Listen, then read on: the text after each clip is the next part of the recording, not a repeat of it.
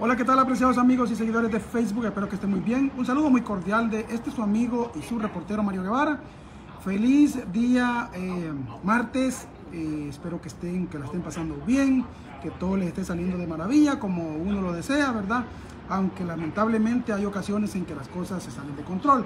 Y eso también se vale porque pues somos humanos, no podemos controlarlo todo, ¿verdad? Y solamente ese privilegio lo tiene Dios.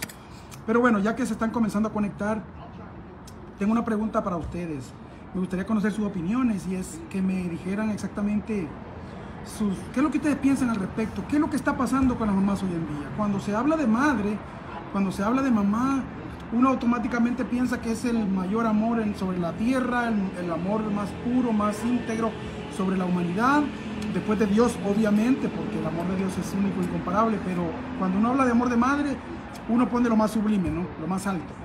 Resulta ser que eh, hay excepciones, como toda regla, y, les cuento que las historias que tengo que, escribí hoy en mi crónica tienen que ver con cuatro mujeres, cuatro casos distintos, todas hispanas.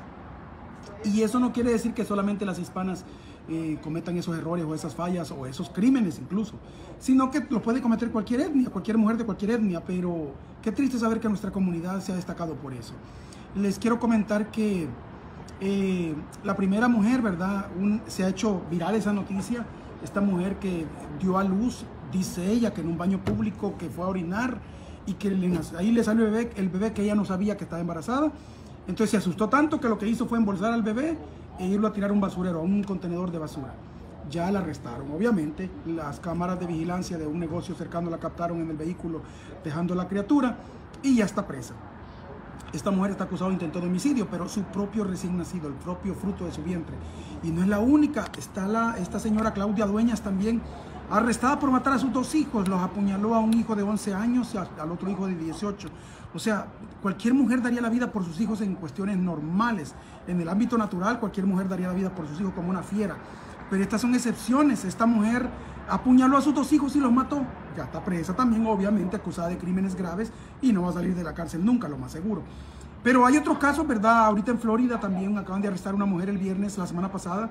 Esta mujer enjaulaba a su niño, su, niño tiene problemas de hiperactividad y le hacía berrinches. Ella cada vez que se enojaba lo, lo encerraba en una jaula, en la jaula de su perro, y ahí lo tenía.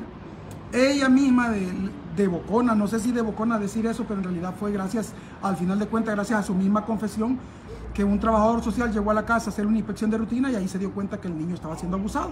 Aparte de eso, cuando le echaron a la policía a la mujer, que ella confesó que, que así disciplinaba a su hijo, eh, descubrieron que tenía lesiones en la espalda un poco viejas, pero, pero igual, van investigando si ella tiene algo que ver en esas lesiones. La mujer la fue arrestada, su hijo pasó a custodia del papá, les parece que la mujer y el padre estaban separados, que suele suceder. Y el otro caso, es que ella enjaulaba a su hijo, ahora ella está tras las rejas. Y en el otro caso, ¿verdad? También tiene que ver con una madre latina, jovencita la muchacha, se iba a los bares, se iba a los bares y dejaba a su niña, la niña de, cuatro, de nueve años, encargada de tres niños. Ella cuidaba a los tres menorcitos, incluyendo una bebé de nueve meses, un bebé de nueve meses.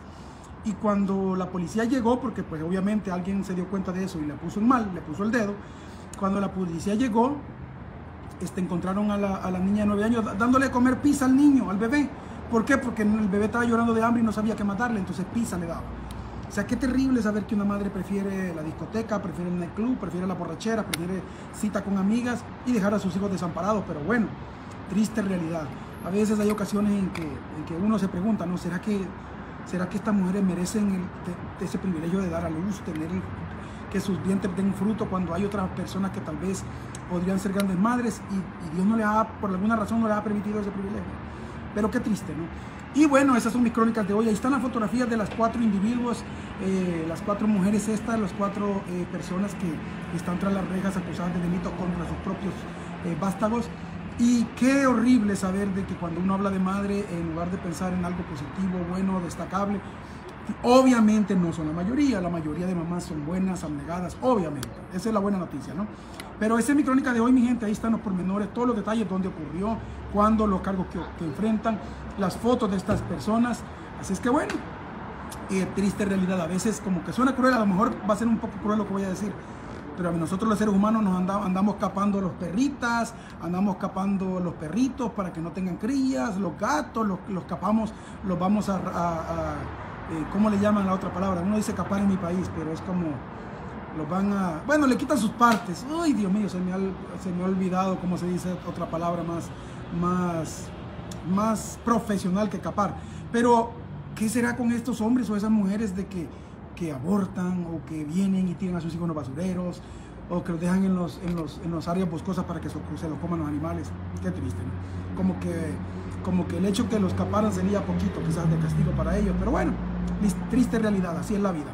Hasta pronto mi gente, cuídense, Dios me lo bendiga, a su amigo, su reportero Mario Guevara, recuérdenlo, yo primero aquí, compartan este video.